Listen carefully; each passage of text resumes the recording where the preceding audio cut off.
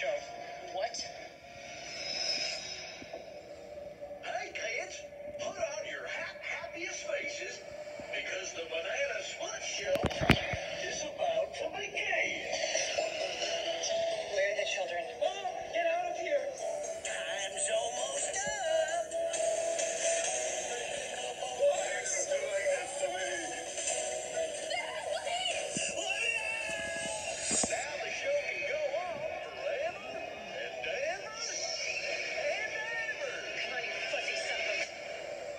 I just really want your brother's birthday to be perfect.